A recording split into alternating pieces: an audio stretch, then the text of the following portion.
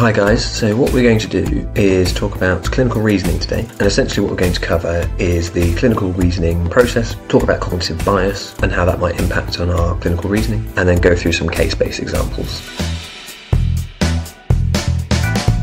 So let's start with a definition then. So clinical reasoning is the process where we create a diagnosis and management plan through using clinical information. So that's might be history, examination, blood test results, imaging, etc. Now I think most clinicians will agree it's it's not really a, an exact science. Um, most cases, we're using a, a, sort of a best guess type approach, generally based on previous clinical experience and weighing up of probabilities. And essentially, this will lead to clinicians who review the same patient with the same information, creating different alternative differential diagnosis, different management plans, which doesn't mean that the clinical reasoning process is wrong. It just simply demonstrates that we're all human um, and we have different experiences to draw on, and we're subject to different degrees of, of cognitive bias, which we're going to talk about later later. So let's move on and talk about the, the process itself. So there's several key stages in, in the initial assessment of a patient. Now, obviously, we always advocate an ABCD approach. We do that a lot in our, in our simulation sessions. Uh, and this is obviously very helpful when you're assessing unwell patients. But the, the key to the A2E assessment is understanding that it's not about gaining a thorough history or an examination. It's about buying physiological time. So you're essentially resuscitating an unwell patient and escalating their care early. It's not the same as a, as a thorough history and examination. So when we talk about clinical reasoning, really we want to be using as thorough a history, as thorough an examination as possible alongside appropriate investigations before creating a differential diagnosis process and that management plan. Now, there's four key sort of steps that we, we often talk about when we're looking at clinical reasoning. So the first step is collecting information. The second step is making sense of that information. And then the third step is creating either a problems list or a, a list of differential diagnoses. And then number four, you're essentially testing those differentials and coming up with a, with a preferred diagnosis or a, or a list that you think is most likely. And essentially, this is the underlying mechanism by which we assess and manage patients. Steps one to four you just repeat over and over again as you gain new information from the history or from examination or from investigations. Continually testing and updating your preferred diagnosis or your preferred management plan. So, how do you actually do this? I think that's part of the skill that you get as you move through your medical education. So, sort of first and second year, you're very much just sort of taking a very standardized history and you're not really applying too much clinical acumen to that. You just sort of go through the processes. And towards the later stages of your, of your medical career, you need to get better at picking out the key information. So, you're not just going through the routine history for the hell of it. You need to get good at picking out the key you know, demographic details, so the you know what, what's important about that patient, you know, the age, gender, past personal history, those important things, and then also problem-specific details that are going to sway your differential diagnosis. So if you if you're seeing somebody with chest pain, for example, you want to know, you know, is it pleuritic, which might suggest a more respiratory cause? Is it there in a particular position, which might sway you towards a diagnosis of possibly pericarditis or reflux or something like that? And then through those key bits of information that you've gathered from your assessment, you need to create a list of, of differential diagnosis. Now, I'd always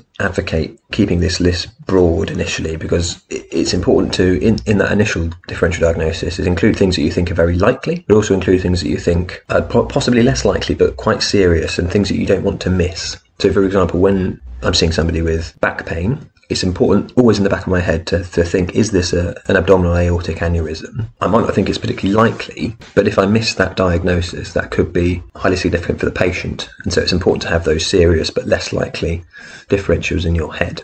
And then essentially, once you've got that list, you need to use the, the negatives and the positives from that key information to help direct you towards particular diagnoses and then reorder your differentials appropriately.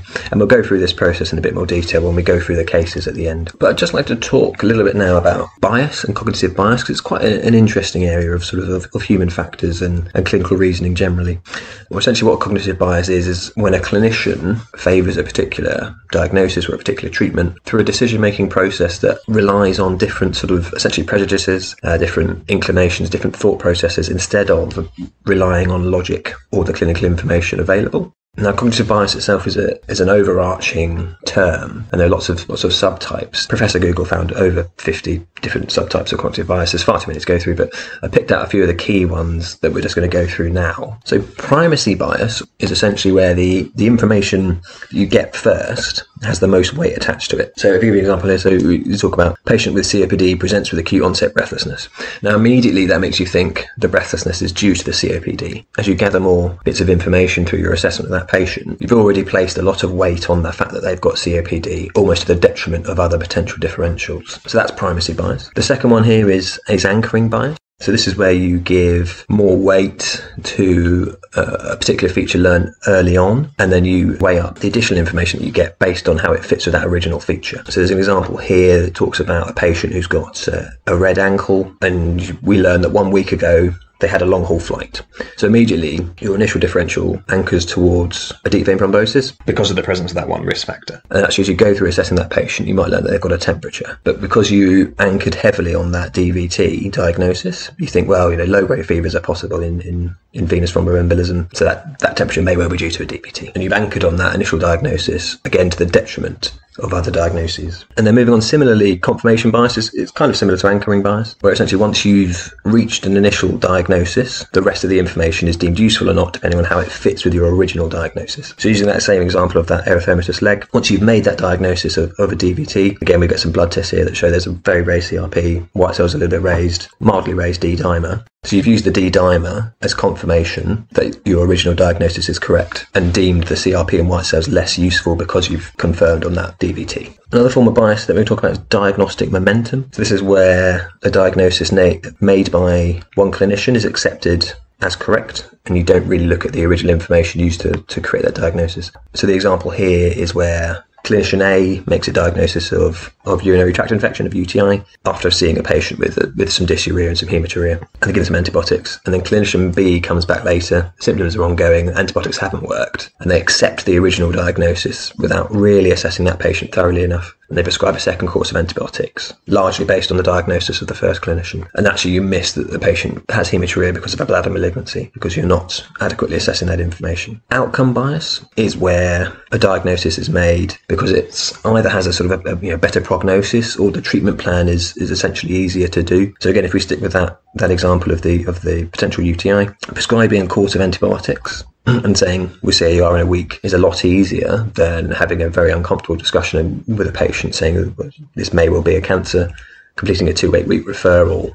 Attribution bias is where a diagnosis is made that can be attributed to the patient's fault, essentially the patient's behaviour, often negatively. So, for example, you know, drug and alcohol abuse is the thing that springs to mind. So, if you look at an example here, so we have a, an alcoholic patient who presents with a with a low conscious level, a reduced GCS. They smell of alcohol, and you make a diagnosis of it's, it's alcohol intoxication. And you sort of put them to one side and, and wait for them to sober up. And actually, you miss the subtle head injury that is actually the cause, and they've actually got a, an intracranial hemorrhage that's causing their GCS. And the last form of cognitive bias we look at is triage bias. So this is where the, the location that you see the patient in influences the diagnosis, investigations and management. For example, if somebody presents to GP surgery chest pain, that's managed very differently to if they present to an emergency department with chest pain, where before you've even finished the phrase, I have chest pain, you're pinned down and an ECG is taken.